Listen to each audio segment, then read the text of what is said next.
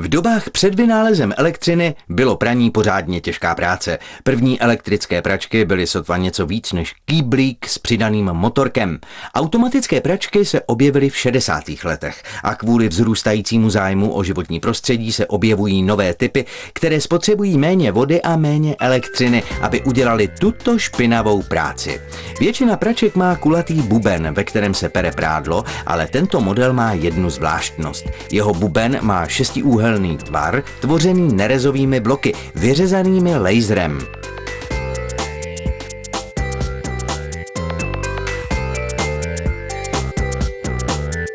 Pracovník vyjme vyříznuté plechy a nechá je ohnout na přístroji, kterému se říká ohraňovací lis. Tam jsou plechy tlačeny proti lisovadlu, které ohne jejich hrany.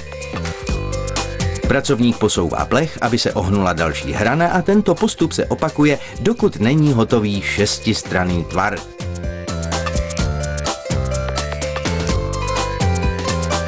Potom montér přidělá k bubnu poklop a tudy se bude vkládat prádlo.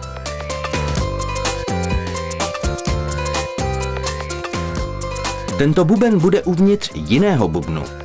Aby oba spojil, musí svářič umístit nerezové plechy na toto upínadlo. Pak přidá hlavní rám a plech pro zadní stranu bubnu.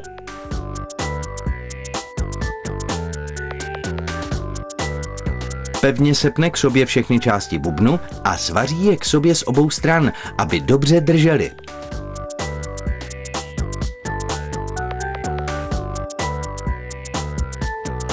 Pak odnese buben ke švovému svářeči.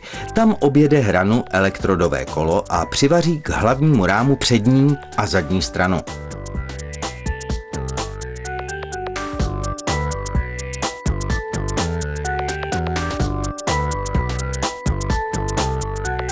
Stále je ještě co přivařovat.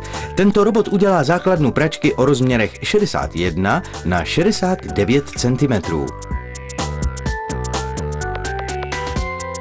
Betonové vyvažující závaží, které se přidělá k vnější straně bubnu, by mělo zabránit přílišnému třesu pračky při jejím chodu. Potom montér přidělá tlakovou trubici a hadici na odpad, kterou vytéká voda z pračky. Obě trubice zajistí vodotěsným těsněním. Teď instaluje opory vnějšího bubnu. Do každého rohu přijde jedna.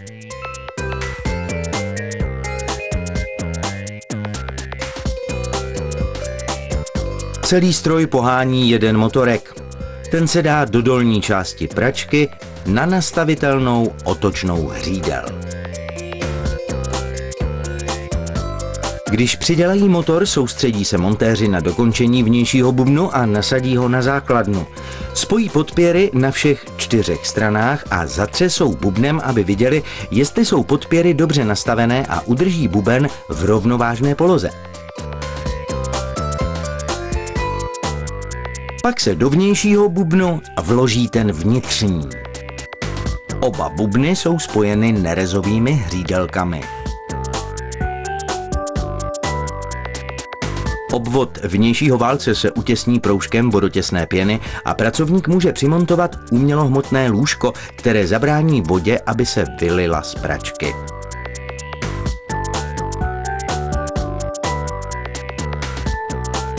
Pak montéři nainstalují hnací řemenici na hřídelku, která drží vnitřní buben. Hnací řemen spojuje motor s řemenicí. Tímto způsobem se roztočí hřídelka a vnitřní buben. Nyní se nasadí vnější skříň z nerezové ocely na základnu, která pokrývá bubny. Je v ní umístěn i ovládací panel neboli mozek celé pračky. Ještě zbývá umístit víko, no a pračka je hotová. Elektroinstalace k ovládacímu panelu je umístěná na spodní straně víka. Tam jsou také ventily pro prací prášek, bělidlo a aviváž. Dříve než pračka opustí závod, jeden člen týmu pro kontrolu kvality pračku vyzkouší a vypere v ní dávku špinavého prádla. Podle výrobců je tato pračka hospodárná a šetrná k životnímu prostředí, protože tento typ bubnu potřebuje ke své práci méně vody, prášku i elektřiny. Pračkami od jejich počátku proteklo už spousta vody a za tu dobu prodělali veliký vývoj.